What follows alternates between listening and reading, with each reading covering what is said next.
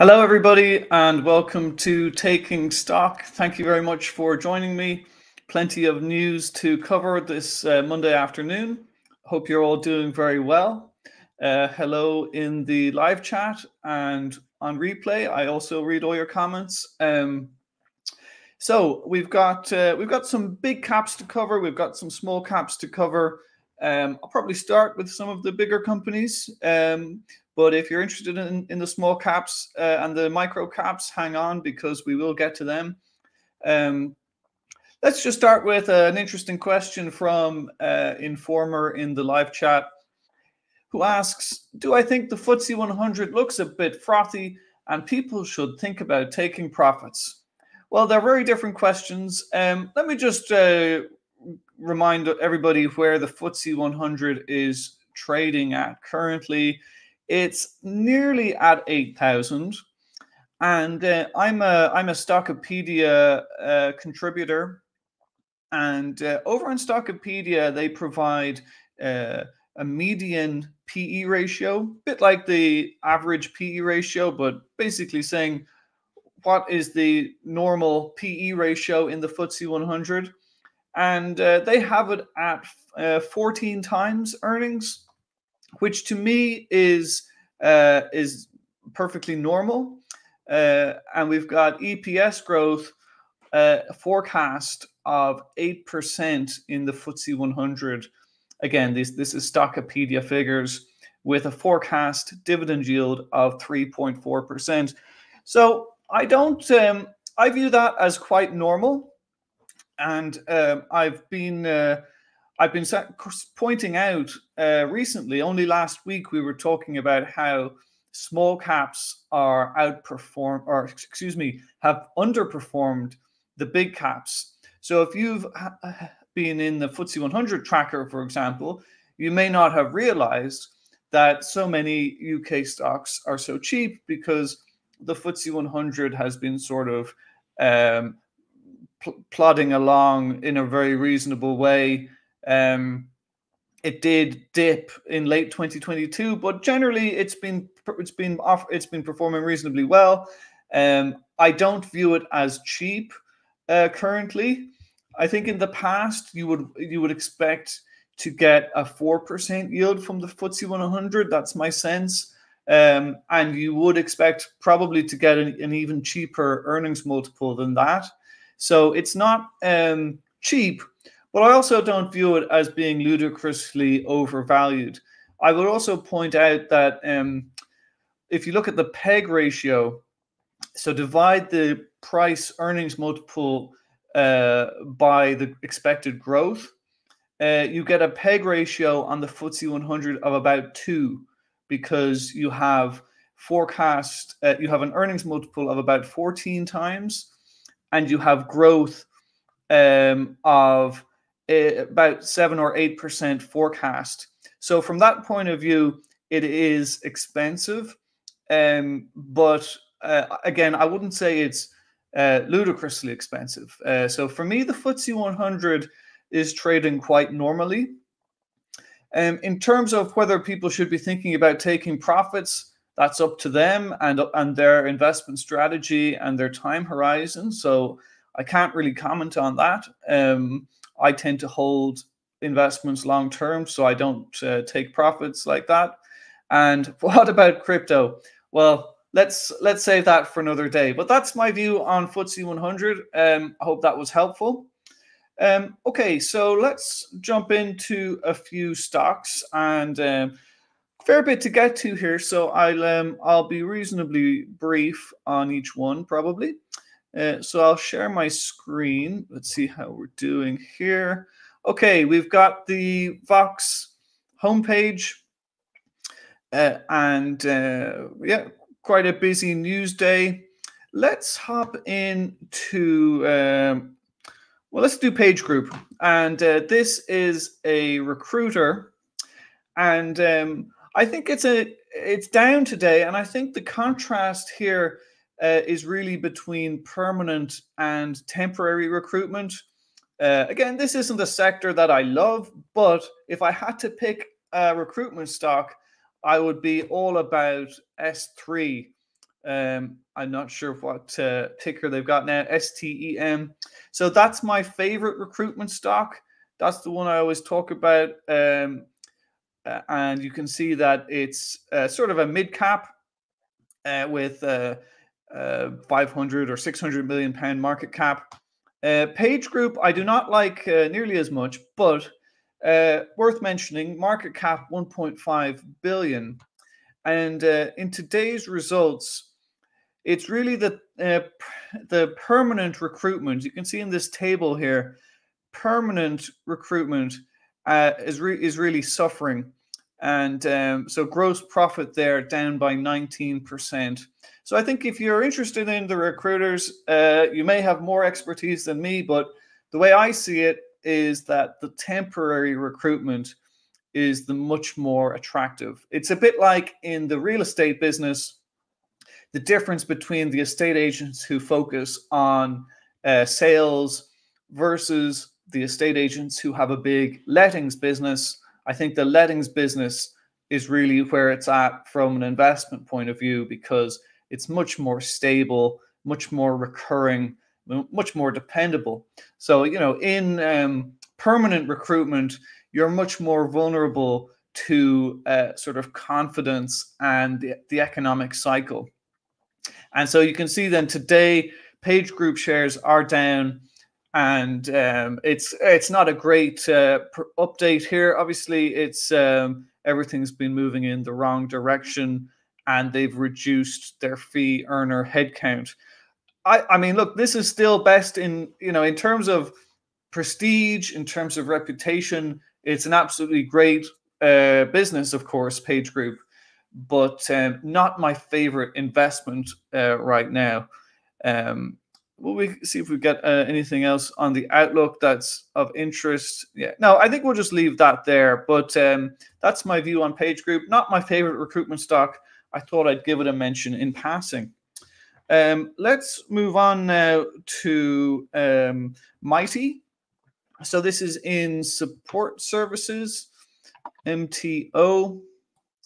Uh, yeah, so support services. Um, you know, this is a big reputable business, market cap once 1.6 billion. And um, I thought it was noteworthy that they announced another 50 million pounds in share buybacks. That is a big number in absolute terms, 50 million pounds. But you know, relative to the market cap, that is a decent chunk of shares that they're taking out, another couple of percent. And uh, today's trading update was excellent. Uh, so you know this can be a tricky sector. Uh, support services and facilities management uh, can be very difficult, uh, but um, this uh, this is great. A fantastic update uh, from a mid cap company. Um, all medium term targets met or significantly exceeded. Uh, revenue up 11% year on year, and profits growing at a faster rate than that. so profits up uh, over 20% in terms of operating profit to at least 200 million pounds. Uh, so pro- probably quite a, a, decent multiple as well, a decent earnings multiple uh, in terms of offering some cheapness there. And um, they've they've got here uh, a net debt position that's very uh, very modest, I would argue relative to the size of the company 85 million pounds of net debt, uh, not too much at all, in my opinion. And so that gives them the confidence to buy back another 50 million pounds of shares. Uh, the CEO uh, says, We are pleased with the performance of the business, record revenue and operating profit, operating margin 4.5%, strong free cash flow, free cash flow generation, and returning surplus funds to shareholders via buybacks. So, uh, nothing really to dislike in this update, and um, I'm uh, I'm not uh, you know I I find as I said this sector is a difficult one because it, things can go wrong and do go wrong. Margins are very low, so profits will will fluctuate accordingly. But um, as you can see here, we've got this net debt to EBITDA multiple target of 0.5 to 1.5x.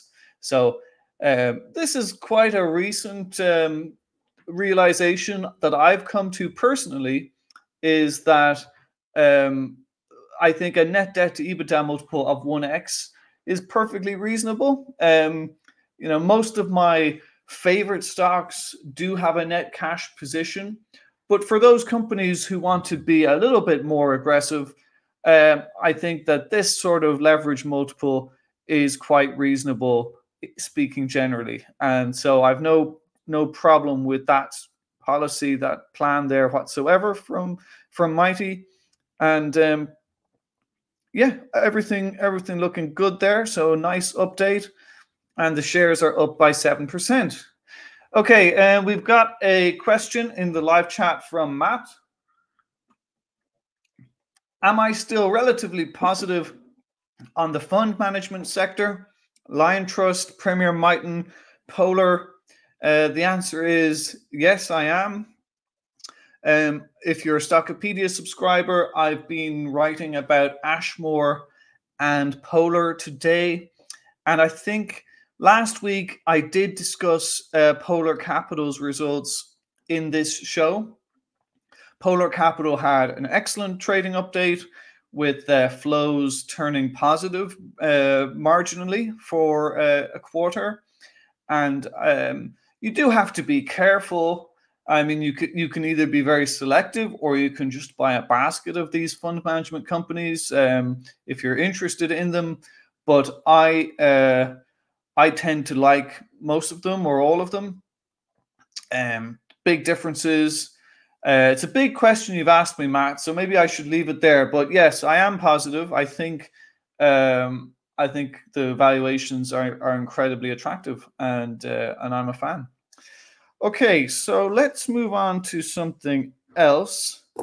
Um, let's look at a smaller company. Uh, let's take go over to Audioboom. So I've been um, talking about this one a lot recently, and I've pointed out that they do like to publish um, a lot of uh, announcements to the stock exchange, Audioboom, and we've got. Uh, you know, we've had a whole bunch of them there in March and April, and then we've got more news today. We've got final results and a Q1 trading update. And there's some media on the Vox uh, website uh, that you could check out. Um, we've got 2023. We've got a discussion about Audioboom from last year. Um, but yeah, I've been a skeptic on this company. Um, I've made the point that I think they're trying to build an audience uh, very expensively and at great difficulty.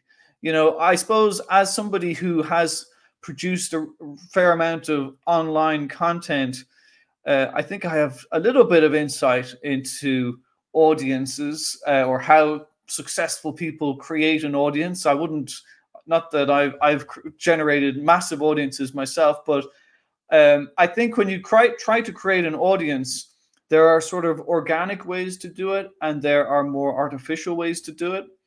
And to me, Audioboom is doing it uh, somewhat artificially by simply spending a lot of money on content. And I think that that is a tough road to go down. And um, you can see these final results uh, tell a story of a company that that has been struggling. Uh, you see, revenues in 2023 actually fell from 75 to 65 million dollars. Uh, there was an adjusted EBITDA loss, which you never want to see, of course, um, and um, there was a little bit of growth in monthly downloads, up four percent on the prior year. But they do say that they will get back to adjusted EBITDA profitability this year. And they've got a Q1 update as well. Uh, let's just scroll down to the numbers here because uh, these numbers do um, do tell tell a story, you know, in facts. Uh, see here, we've got an adjusted EBITDA loss and um, and, and a fairly large operating loss, and so um, it's you know you never want to see a, a big gap there and unfortunately this is a big gap um, we've got share based payments that are significant And then we've got these large onerous contracts, loss and provision. So the previous way that the company was working, uh, spending basically too much, uh, and it's just not worked out. So they've sort of written off their previous strategy as basically contracts that didn't work out. You see here they've got an onerous contract provision up here in cost of sales as well. But they're looking at a new strategy. Um, scroll up a little bit here. Um, yeah, so where's their strategy bit? Yeah, so here's their strategy. Um, so they say they've got an efficient, scalable platform with all these channels and thousands of advertisers. Um, so what they're trying to do is expand the Audioboom Creator Network, where we platform the world's leading podcasts. And they've got three clearly differentiated advertising products to support the content growth: premium advertising, uh, showcase, and Sonic. So, I mean, look, they've clearly put a lot of thought into it. They do have a strategy. They have changed their strategy from a previous one, which wasn't really working. Uh, so, hopefully, they can become a more sort of uh, mature business. I mean, it could, could, we compare it to Spotify? Could we compare it to um, the podcast platforms uh, produced by uh, the likes of Google and Apple? No, we couldn't. But maybe we could sort of think of it as a, as a sort of a Spotify. Um, but I think I think it's a pretty difficult. It's a very difficult thing that they're trying to do. Um, you know, and so I think it's right to be skeptical. Um, but hopefully they will they will prove prove the skeptics wrong. You know, a lot of people thought that Amazon wasn't going to work out. Eventually, it did. Um, a lot of people thought Netflix would, would event wasn't going to work out, and it's done it's done pretty well. So, look, they they're ambitious and they have a new strategy. So, good luck. But I think it's a very difficult thing that they're trying to do, and um, the losses do tell a story. We've got a Q1 trading update showing revenue up 11%. So a decent revenue growth number, uh, but not spectacular for a young company. Um, and we've got um, okay highest revenue month for the company. Fair enough. Uh, Q1 adjusted EBITDA profit of basically just above break even, and uh, but you've got to be very careful there because I would expect a large gap between adjusted EBITDA and the operating profit or operating loss. So we've got to watch out for that. Um, so yeah, I'm a, I'm a, I'm a skeptic, but I'll try to keep an open mind, and um, hopefully they can uh, they can this will eventually work out. But it, it has been around for a while now. It's not a it's not a brand new company. It's been uh, you know, I've, we've been looking at it for quite a few years at this point. So, um, anyway, that's the story with Audioboom. It's down 11% today, market cap 44 million pounds. Okay, um, let's go on to something a bit more positive. I'll try to mix it up between the good news and the bad news stories. So, Renold is a good news story, uh, up by 4% today. And um, this company is uh, is in the power transmission business, uh, power transmission products that have a very wide range of applications. It seems to be a pretty good quality small cap, still less than a hundred million pound market cap, but a very reputable business. And uh, we've got a good trading update from Renold today. So, I, I, sorry, they describe themselves as a supplier of industrial chains and related power transmission products. So, this trading uh, update, you know, I'm surprised that the shares are only up by 4% uh, today when they expect results to be materially ahead of current market expectations. So, for me, materially ahead, generally expect quite a decent uh, improvement in the share price, but only up by 4%. Um, the strong momentum continued anyway. adjusted operating profit approximately 20% higher than the pr prior year, driven by a further improvement in margin. I suppose the main reason you could be skeptical of this one is that revenue hasn't really gone anywhere. And I would, in this particular case, I would focus on that 2.3% reduction in revenue when taking currency headwinds into account. So in this case, I would um, I would focus on that. Um, but you, you can also bear in mind, I suppose, that if they hadn't suffered uh, the exchange rate problem, they would have been uh, it would have been up slightly.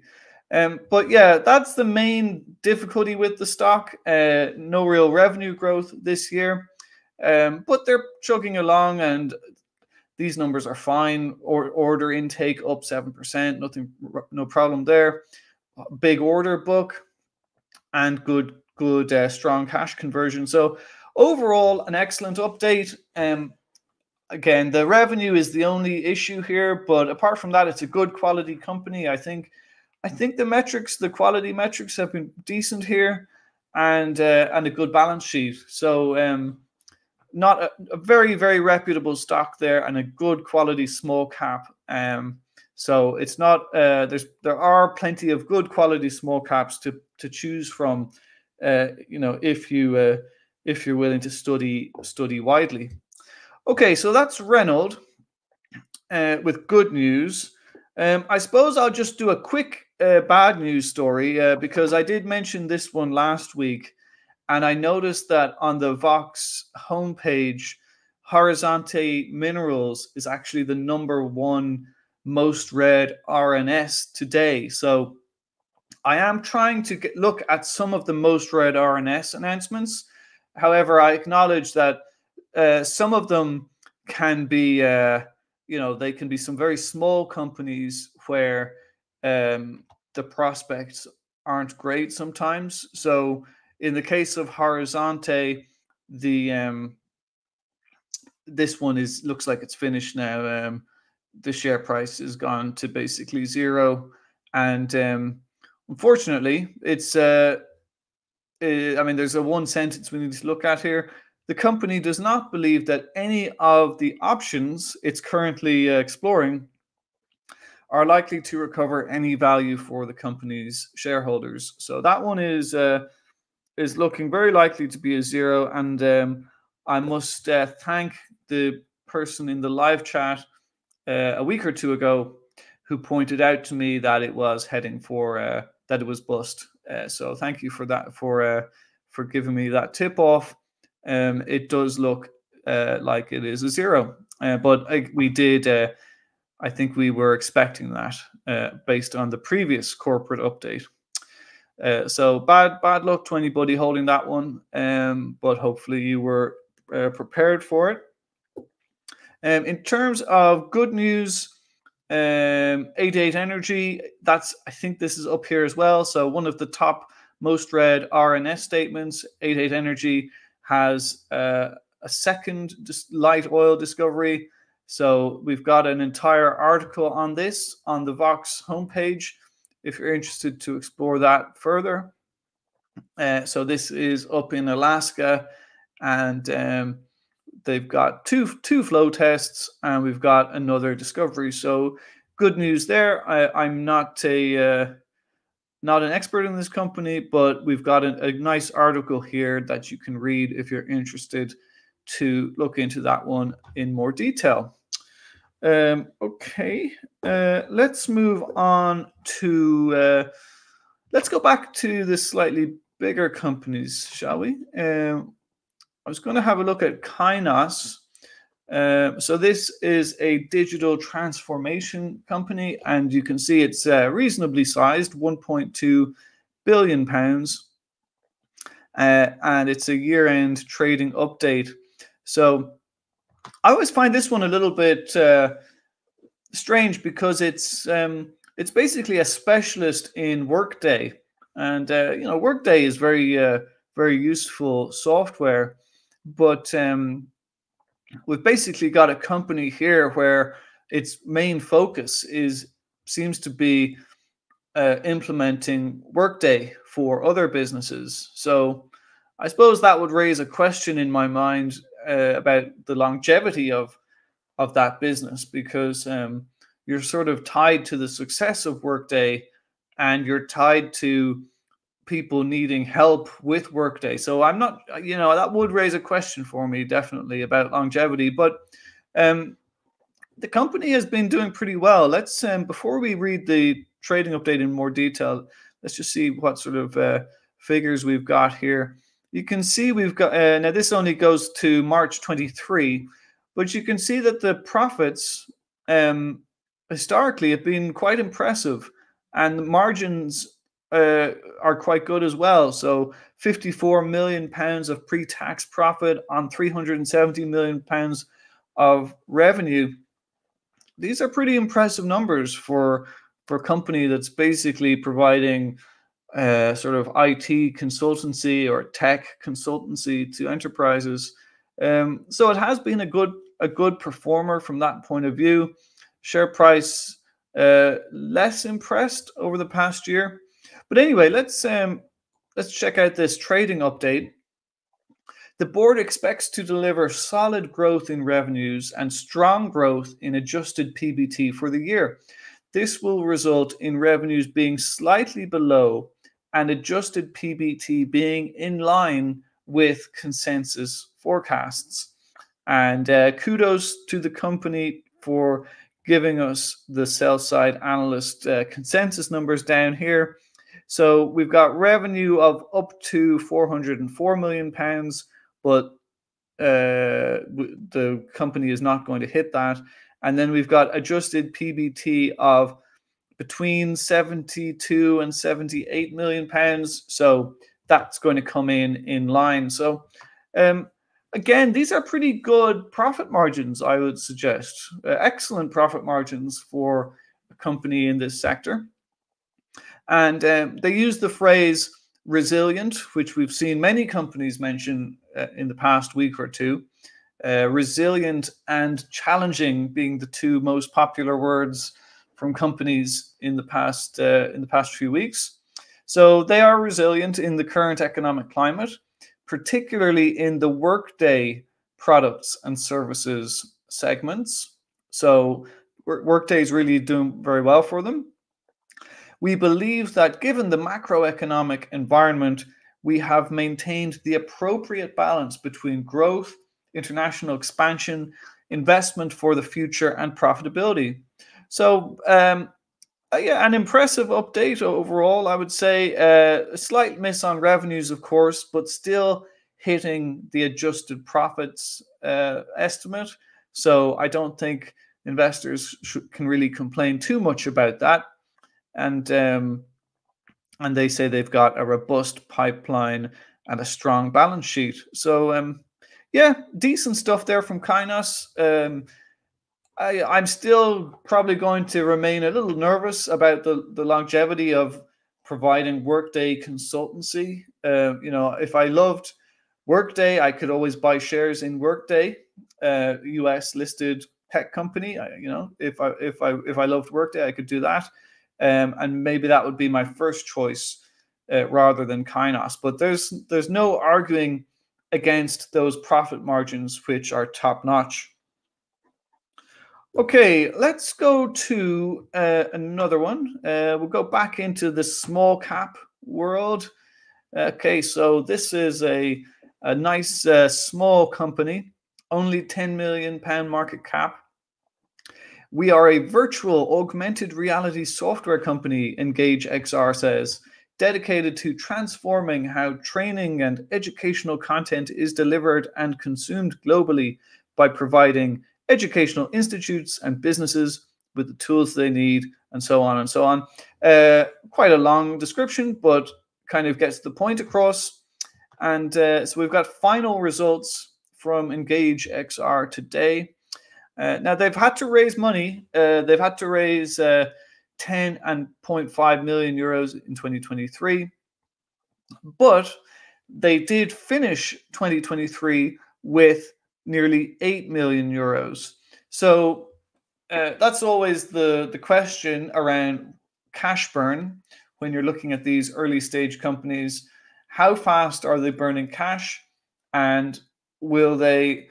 You know, if you're investing in the shares, you need to have some idea about how long they're going to go before they need to raise more funds. Because, well, in my opinion, if you invest in one of these companies, you need to be comfortable with the idea that they're going to raise more funds, or uh, maybe you could conclude that they won't need to, which would be the best case scenario. So, in this case, we have an EBITDA loss of 4 million euros, which is an improvement on the prior year. Unfortunately, total revenue for the group didn't grow; and actually fell. Uh, so that's um, that is uh, definitely a disappointment if you're you know if you're investing in a small company you're hoping for, for proper top line growth um, but uh, yeah i mean the operational hi- highlights sound good and uh, in terms of post period end highlights so you know we're already in mid april so it's quite a long time has passed since december 2023 they say that they have seen four of their largest contracts close, all within education and training from new and existing customers. They've got their first ever seven figure deal with a large Middle East based company. And in Q1, they had revenue of just over 2 million contracted revenue booked in. Okay. Um, so there's uh yeah i mean there's definitely some uh, positivity there that you could latch on to and uh, we've got a pretty long C- ceo comment here he said but it finishes by saying having taken steps to reduce our cost base and strengthen our balance sheet through a successful fundraise we believe engage is in a prime position to become the largest provider of spatial computing services globally combined with a growing client base. So uh, there's, um, I mean, there's ambition which you want to see from a small company, and uh, there's uh, sounds like their balance sheet is going to survive for a decent length of time. Of course, you can never say that with any certainty. Um, we hope we'd hope that they haven't uh, spent too much cash in um, in Q1 or in the or up to now so far in 2024. Um, let's take a look, quick look at the cash flow statement and see what's happening here. uh, they've published it here. So they've got net cash used in operating activities of 4 million euros. And uh, I'm, I'm sort of pleased to see that they haven't really got any uh, investing cash outflow. So some companies could uh, put a lot of uh, uh, spending into this category. You know, for example, software companies c- could can capitalize their development spending and put it in here, and then they don't have to put it on their income statement straight away because they've created an asset instead of uh, writing it off as an expense. But Engage hasn't done that. So that's pleasing. And you can see financing activities, they've got that 10 million proceeds from issuing new shares. So uh, eh, I would say that's quite a clean balance sheet, or excuse me, quite a clean uh, cash flow statement without much uh, cash having been um, cash outflows having been hidden anywhere there.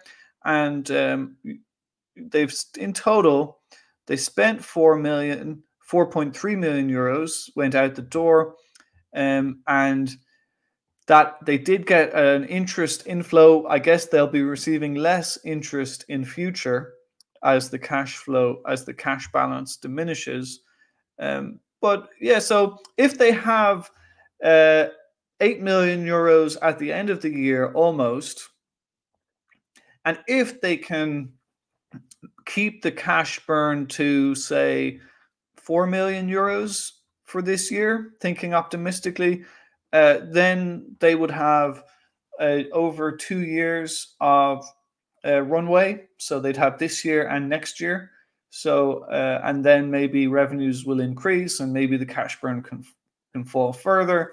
and maybe uh, maybe you can get lift off in that way. I suppose that's why we call it runway, because you're trying to work out is the plane going to take off or is it going to crash?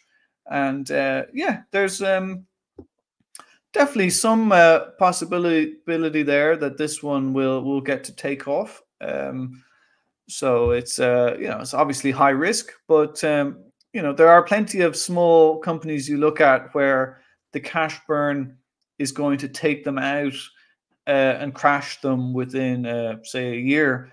Uh, Engage looks like if they you know depending on performance this year, it looks like they have good potential to to to have a few years of runway. So um, hopefully that's the case, but uh, obviously high risk. Uh, so that's Engage. Let's look at another small company, and I think this is on the uh, the most read list. So here, here's the most read RNS list. Um, let's take a look at this uh, Corcel. If I, I may, I may have mispronounced that. Um, but uh, yeah, so this company is down 11% today. It's only a tiddler, six million pound market cap.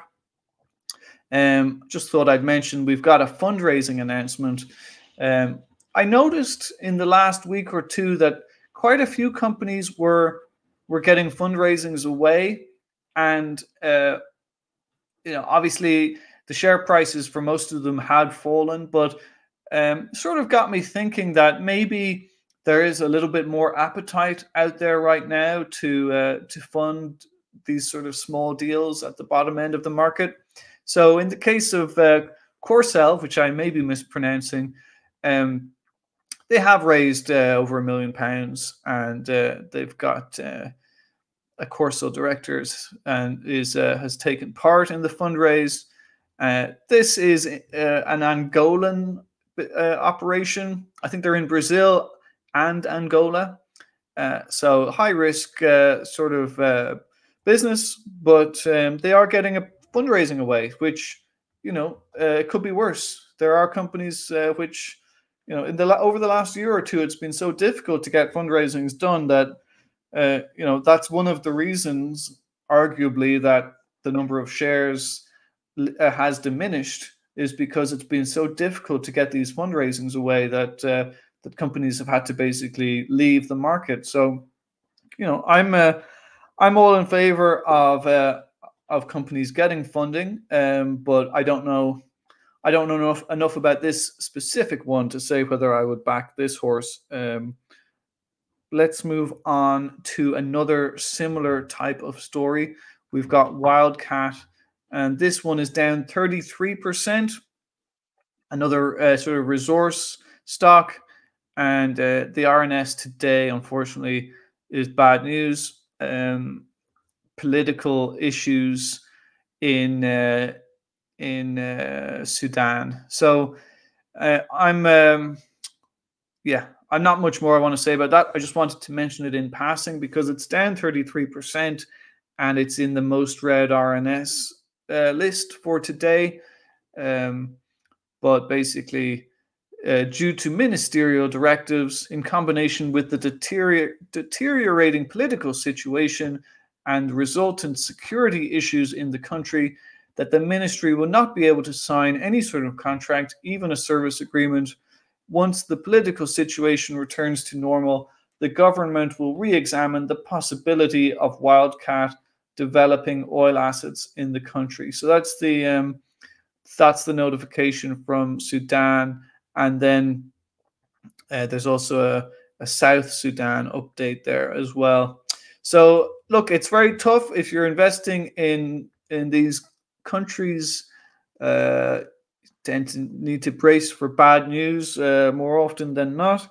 I am, um, you know, in my personal portfolio, I think probably the most adventurous that I ever got in terms of um, holding a stock for the long term was uh, DP uh, Eurasia, which had the Domino's master franchise in uh, Turkey and Russia, and that company's actually been uh, been acquired and been taken over, and shareholders have done reasonably well in the end.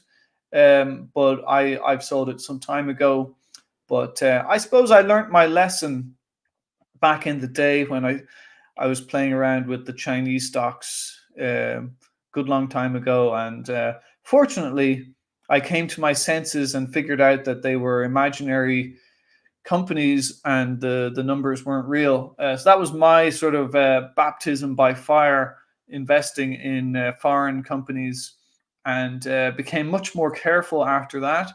Uh, so for foreign companies now, uh, I don't regret investing in DP Eurasia, but the even Turkey and Russia where you would think it would be much safer to invest in Turkey and Russia compared to you know countries much further away in in Asia or in Africa. Well, e- even Turkey and Russia turned out to be seriously problematic for for slight for different reasons.